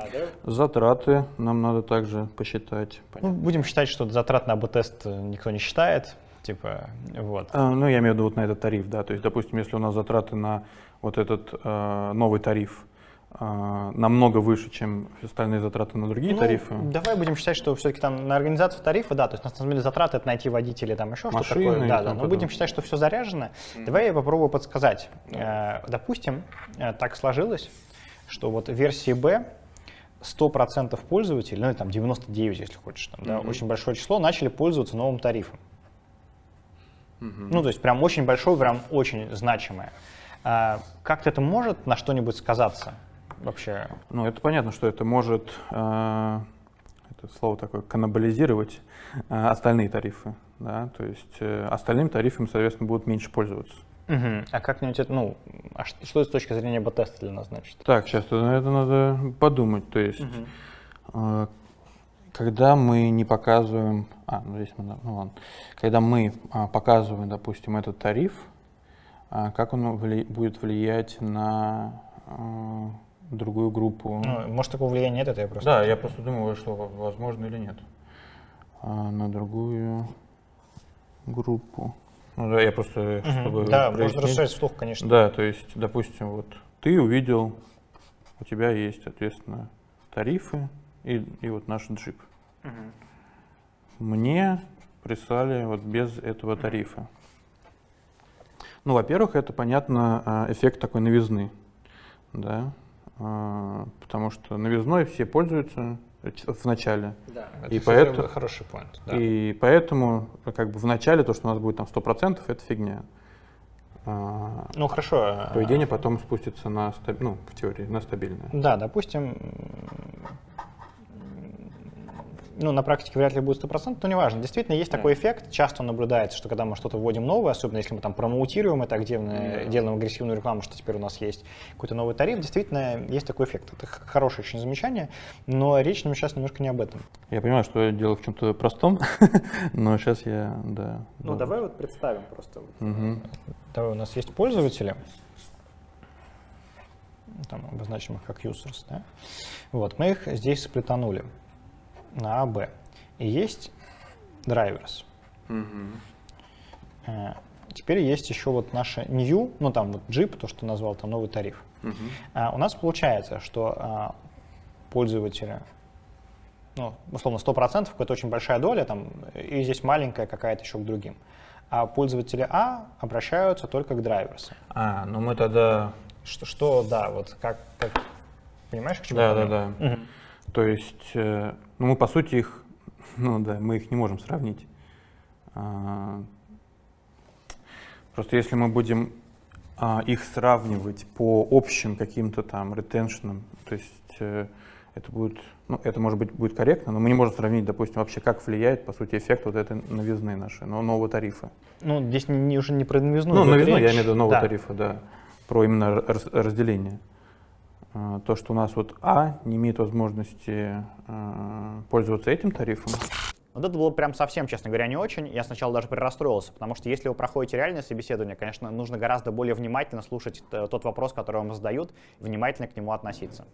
Ну, давай уже так совсем подскажу. Смотри, когда мы... э, Раньше у нас как было до появления? Да, стандарт. Вот А пользовались, да, соответственно, Б, а потом мы ввели новых. И тем самым а количество драйверсов у нас не уменьшилось. Ну, они же никуда не делись. Ну, да. Ну, значит, э, для пользователей в сегменте А водителей будет, условно, в два раза больше, если мы 50 на 50 сплитуем. Ну, потому что вот эти все ушли сюда, каким-то к новым водителям. Мгм. Здесь водителей осталось больше. Соответственно, больше водителей, быстрее подача, меньше цена. Мгм. Понимаешь? Да, я понимаю, я просто думаю, ну это если, да, допустим. Это если ушли- 100%. Да, да, да, тогда да, понятно. Э, Но это просто выраженный случай. Здесь он прям явно этот эффект наблюдается. Это называется штука сетевым эффектом. Он здесь прям явно, Да-да-да. явно наблюдается. Окей, э, разобрались с этим, а теперь давай подумаем. Ну, естественно, такого никогда не будет. Понятно, что не будет пользоваться новым тарифом 100%, Мгм. а, но какой-то процент будет. Э, собственно, первый, ну, во-первых, теперь вернемся к эксперименту. Мы Мгм. можем действительно провести АБ-тест, но тогда нам нужно быть аккуратным. Есть специальные техники, если ты их не знаешь, мы сейчас не про это, есть специальная техника, как проводить такой эксперимент. Но мы пытаемся именно с, там, с бизнесовыми какими-то там, э, не знаю, способами как-то этот сетевой эффект сейчас нивелировать. Давай подумаем в эту сторону. То есть как можно, или может быть не АБ-тест проводить. То есть нам нужно как-то в любом случае провести такой эксперимент. Это действительно важно, внедрение нового тарифа, и мы не можем, соответственно, ну, Ну, понятно, что мы, конечно, можем там какие-то фокус-группы, заказать исследования там у Нилсона или там у кого-то еще. Но я думаю, что это для нас не не-не-не, очень. именно вот, да, в рамках Да. там, То есть как мы можем нивелировать а, этот а, эффект? Да, ну, во-первых, давай тоже второй предельный случай рассмотрим, когда новым тарифом пользуются 0%. Ну, то есть может же такое быть, мы вот, э, действительно делаем АБ-тест, и у нас 0%. Понятно, что в этом случае сетевого эффекта точно нет. Да, понятно. То есть э, этот случай у нас Да. получается здесь 0%. Ну, вот новым тарифом пользуются, поэтому, по сути, ничего не изменилось, там, все такое. А скажи просто, во-первых, может ли быть успешным этот эксперимент, ну, с точки зрения бизнеса, если мы внедрили тариф, а 0% пользователей им пользуются? Мгм. Может ли он быть А, В теории да, да, потому что мы же смотрим, как он повлиял на наш бизнес, да, то есть если, допустим, им никто не пользуется, но из-за него пользуются чем-то другим, да. мы вообще только рады, и мы его оставим. Это хороший point. Блин, вот это было, кстати, очень круто. Я прям такой думаю, вау, ну блин, вообще огнище, хотя человек вообще не знал эту задачу, он прям так к ней относится. Да, э, соответственно, да, то есть, э, в принципе, поэтому мы, мы уверены, что 100% разумеется не будет, мы можем, а как можно примерно, или какой-нибудь подход, э, понятно, что там требуются данные, как оценить, и когда сетевым эффектом мы можем пренебречь, может быть, есть какая-то у тебя там гипотеза, идея, как вот, ну, то есть понятно, что в нуле точно мы можем пренебречь, потому что его нет. А в одном проценте, наверное, если один процент э, будет пользоваться новым тарифом, в общем, мы, наверное, тоже можем пренебречь. А когда 100, точно не можем. То есть где-то, где-то вот есть эта грань, да, давай мы можем попробуем как-то там, ну, один из там простых способов, ли- либо попытаться как-то ее оценить, Ну да, либо да. пытаться как-то технически, может быть, к ней прийти или что-то еще такое сделать, чтобы как-то провести эксперимент. Так, то есть в чем у нас э, проблема? Да, то, что у нас здесь получается... сейчас. То есть тут получается у нас остается больше водителей. Да. И, соответственно, от этого там увеличиваются как- все как- хэппи-метрики. как- Да, вот. Может быть, соответственно, там, ну, сейчас давай пока попробуем с этим разобраться. Может быть, вот с этим еще поработать можно из-за того, что метрики у них растут, там что-то с этим поделать. Ну, во-первых, понятно, мы можем, допустим, разные соотношения групп выбрать а, в нашем АБ-тесте. Мгм. Ну, какой это? Ну, вопрос? допустим, да. Допустим, там 90 на да, 10. 90 на 10. Окей, хорошее, хорошее решение. Тогда действительно сетевой эффект, если он будет, то он будет маленький. Да, минимальный. А, так, второй, ну, как, ну, это так себе, конечно. Не, можно генерить любые гипотезы. Да, и гипотеза то, что какой-то x процент водителей отправить в отпуск, допустим, из группы А, чтобы, допустим, средние значения были теми, что и до. Ну, мы, наверное, не можем, потому что э, водители, у нас нет водителей группы А. Тогда нам нужно сплитовать водителей. Можно сплитовать водителей. Э, Это да. возможно с этим. Х- хорошая мысль, если ты ее докрутишь до конца, будет вообще здорово. Вот если сплитовать водителей, то... То есть, э, что мы хотим? Мы хотим а, сплитовать юзеров. Ну, мы уже их, собственно. Да, и сплитовать водителей. А, да, drivers. Ну, это прям сложно. То есть это есть такой подход, Мгм. но тут прям много нюансов. Ну, давай хотя бы вот на каком-то уровне попытаемся это сделать. Да. Так, а, сейчас нам важно а, понять, допустим, как их правильно а, сопоставить, да, зарандомизировать. Да, здесь еще нужно понимать, что как только ты делаешь... Ну, давай, ладно, договори, потом я, может, я на- на- начну что-нибудь подсказывать. Да. Так, то есть мы здесь разделили на А, на Б, где вот здесь вот у нас новый тариф. Мгм. А здесь нам тоже надо правильно сопоставить, потому что у нас раньше вот этот тариф был в каком-то другом тарифе, ну, предположительно, если это не новая прям машина. То, э, ну, я имею в виду то, что... Может, да, чуть-чуть это не Да, очень, да. мысль. То есть вот эти джипы, если они а, совершенно но- новые, да, это одно дело. Но если они а, были включены раньше в какой-то тариф, и нам его надо как-то сплитить, Не-не, это совершенно новый тариф. Вот условно мы решили, там, ну, ну, новые какие-нибудь машины вышли, которые мы решили вот отнести, там, не знаю. Здесь еще вопрос, вот эти водители на новых машинах, они раньше с нами работали? Или они только благодаря вот этому... Ну, бу- будем считать, что, ну, давай вот просто представим, что это либо джипы, либо, не знаю, э, новые электрокары вышли, вот у нас А, появился новое, тали- да. тариф, да, ну просто чтобы вот как бы все эти случаи, будем называть его там э, эконом-электро, ну там как-то. То есть это действительно все, все вот новое. Но здесь тоже, да, проблема то, что у нас как бы в, одно, в одной сплитовке только вот эти машины, а в другой это надо их как-то перемешивать, наверное. Хотя зачем?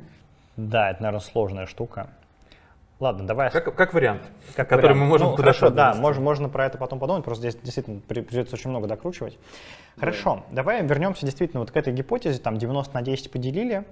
А, После этого мы получили а, примерную оценку, сколько пользователей переходит в новый тариф. А, После этого мы можем, ну, во-первых, если это будет там около нуля, то, наверное, мы можем раскатать на всех, ну, там, 50 на 50 сделать, да, Да, поскольку да, там да, сетевой эффект. Если будет много, соответственно, будем считать. Дальше а, можно ну, каким-нибудь еще способом начать сплитовать, соответственно, группу А, например, из группы А чуть... э, ну, Закидывать туда. Да. Мгм. Вопрос, Мгм. вот это, как посчитать, сколько нам закинуть Да. Ну, можно просто... на- не- это довольно сложная задача. Давай просто ее как-то там наметим и, Ну или, да. или двинемся дальше, если это... Не, ну- Если задача уже утомила, просто мы столько ее обсуждаем. Не, ну подумать-то надо еще. Так. Ну, как, то есть один из вариантов, да, то есть мы э, докидываем там по одному проценту, да, и сравниваем э, статистическую значимость между нашими средними оценками какими-то.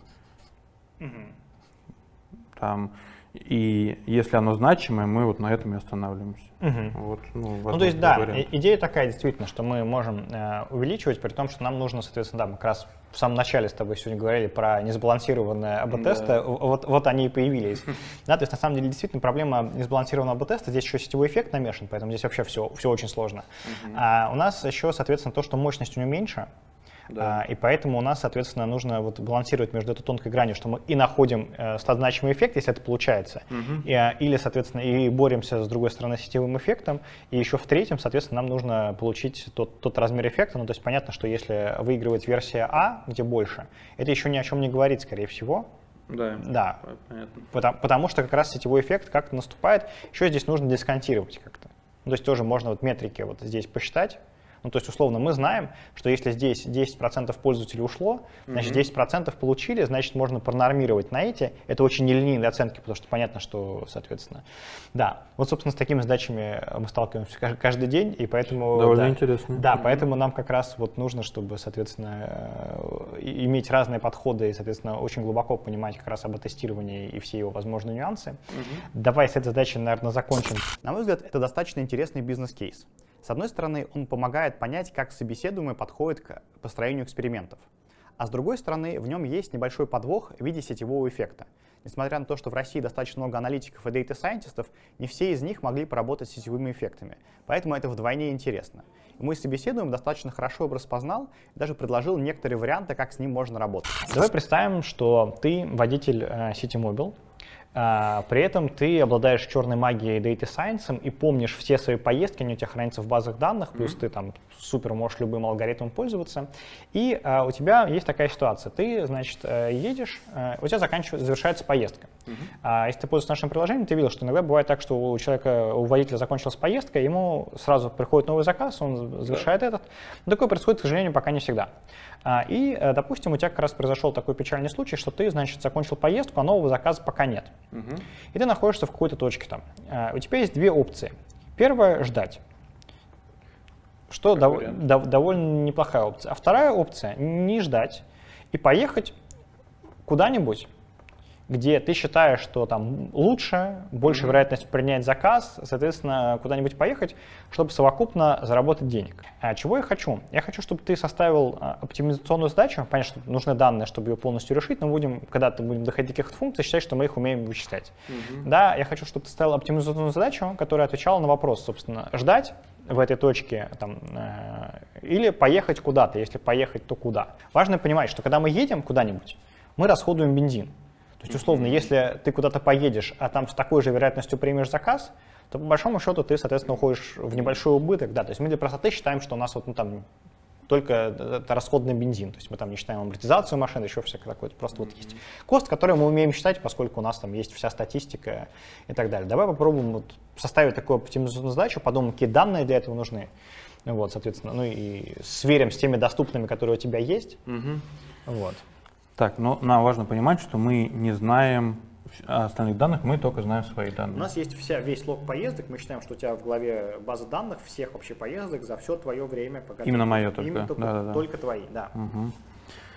А, так, Ну, и будем считать, что их достаточно много, то есть их была не одна там, а там, не знаю, там сотня. Ну, то есть как, какая-то приличная база данных, в общем, у тебя есть, доступна тебе. Мгм. Ну, понятно. Так, первое, что нам надо, понятно, это там а, затраты на, на бензин, Мгм. да, какие тут у нас есть. Ну, мы знаем, да, есть. сколько они на, на километр, там, на... Да. Что я думаю о втором? А, так, я нарисую мини-Москву. Мгм. Ну, допустим, в Москве будет, да, дело. Ну, там какие-то улочки и так далее. Мгм. И, соответственно, у нас есть какие-то точки притяжения, где мы чаще всего а, начинали поездки. Ну, давай начнем сначала, Мгм. а может быть конец, не знаю пока. Ну, ну да, ну, Да, ну, то следующую начать пока, да. Да, то есть мы можем там разные способы, там, не знаю, Мгм. кластеризации и тому подобное. И вот, допустим, у нас э, вот три э, точки, откуда мы чаще всего забирали клиентов. Так, первое, что нам надо, это посчитать, ну и мы вот тут, тут крестик. Допустим, мы можем посчитать расстояние до этих а, кругов, ну, до этих наших а, точек притяжения. Мгм. Да, то есть это какая-то просто какой-то дистанс. Ну да, и посчитать стоимость поездки туда. Теперь нам надо а, посчитать а, определенную вероятность а, того, что мы в, там, ну, можно не в данный момент, а, допустим, через x, там, через 15 минут. Мгм. А, ну можно, кстати, в зависимости от э, дистанции. Да, то есть мы посчитали, не знаю, 5 минут, 15 минут, 25 минут. Теперь нам надо посчитать э, вероятность того, э, что там будет э, клиент, если мы туда приедем. Мгм. Это клиент, это destination. Да. Ну хорошо, да, мы как бы су- суперобразно пишем. есть- Да, да, да. А, Как мы это можем сделать? Во-первых, у нас понятно, что есть а, данные по времени. Мгм. Да, ну и понятно, что это по дням, а, дням недели я имею в Да, виду, да. да, а, week of day. А, так, ну и на самом деле, а что еще нам надо? Ну, то есть, по большому счету, мы можем для каждого полигона Да. рассчитать э, Расч- вероятность. Рассчитать вероятность то, что мы там а, встретим клиента. А, Потом мы можем по какой-нибудь эвристике вот эту вероятность а, умножить на нашу стоимость туда поездки. Нет, сейчас. Ну, давай- Не, не совсем, да. А, Нам надо эту вероятность умножить на предполагаемую прибыль, вероятно, от поездки. Предполагаемую прибыль... Ну, профит давай назовем. Профит, я слово забыл. Да. А, Умножить на профит. Мгм. А, Соответственно, этот профит, я думаю, что он тоже зависит от этих... а, Ну, самый простой случай, что наши вот эти сегментации начала и конца там примерно одинаковые. Мгм. Вот. И, соответственно, умножаем на профит, и это предполагаемый как бы э, revenue. Мгм. И потом мы это revenue нам надо а, сравнить с а, ну, минус Мгм. а, distance умножить на cost. Мгм. Ну, вот такая типа функция. Ну, не совсем функция. а Мгм. вот. Соответственно, если оно больше нуля, можно ехать. Ну, наверное, если оно больше там на 10 рублей, то лениво будет иногда ехать. Но если чисто по математике, то да. Ну, здесь еще нужно чуть-чуть не докрутил, да, еще надо сравнить как-то с тем, что ждать. У тебя же в том полигоне собственном М, да, есть. это я э, забыл.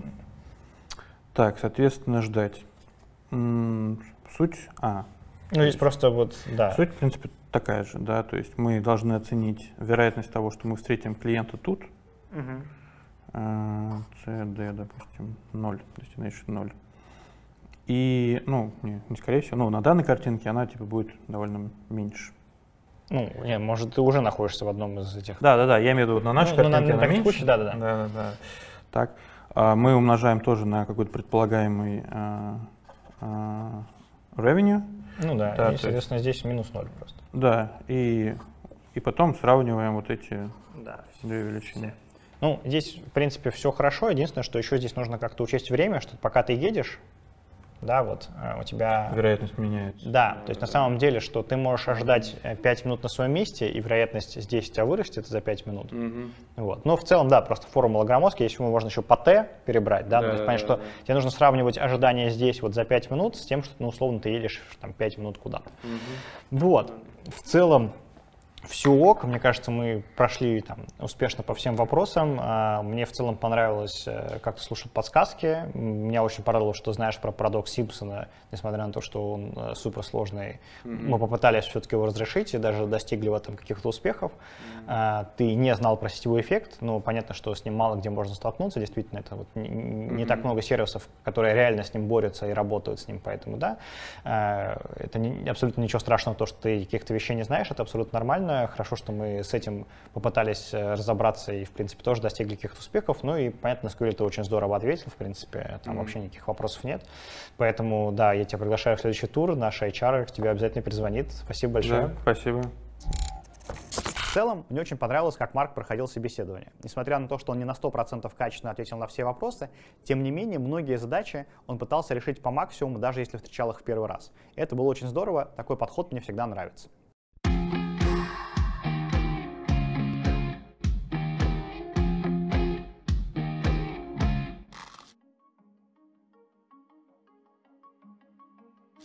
Когда я рассказал о посвящении ролика блогеру из «Все работы хороши», знакомые с ним зрители, вероятно, ожидали тайных засланцев в сети Мобил с кропотливым разбором трудовых договоров и съемками скрытой камеры. Сорян, что это не оправдал ваших ожиданий, друзья. Но в таком подходе и нет особого смысла. Во-первых, очень мало тайных засланцев может вот так взять и пройти собес типа того, что был сегодня. Долго будем искать. Во-вторых, договоры на офисные позиции дата спецов все более-менее стандартные. Никакой жести со штрафами, обязанностью собирать мебель и там, я не знаю, петь гимн по утрам там не будет. Будет разве что условие NDA, а, не разглашение коммерческой тайны. Да и тут никого уже не удивить. В-третьих, для дата спецов, как у любых менеджеров, управленцев, Качество и комфорт работы гораздо больше определяется уровнем команды и сочетаемостью с ней конкретного сотрудника, чем трудовыми договорами и бесплатными обедами из всяких обзоров засланцев. Здесь, опять же, критическая масса информации для принятия решений у вас теперь есть. Благодарю за выпуск команду Сити Мобила, наших звездных гостей Артема Анигири и Анастасию Никулину. Кстати, обязательно подписывайтесь на них в социальных сетях, ссылки в описании. И отдельный низкий поклон продакшн-команде Лехе, Сереге и Максиму. Ребята, без вас я никуда. Благодарю вас, уважаемые зрители, что досмотрели сей ролик до конца. Искренне верю, что он помог закинуть пару интересных мыслей вам в головы. Кстати, поделитесь этими мыслями в комментариях, как и самим видео с друзьями. За активность и поддержку шоу вам мой дополнительный респект. Тут снова ссылки на социальные сети, куда вас категорически приглашаю. Особенно в Телеграм, там движуха. Кстати, если хотите принять участие в следующем шоу, пишите на почту youtube собака flexibilita.pro с пометкой «Нанято кандидат» или «Нанято интервьюер» и организуем. На этом все. Всем пока и до скорого. Занавес.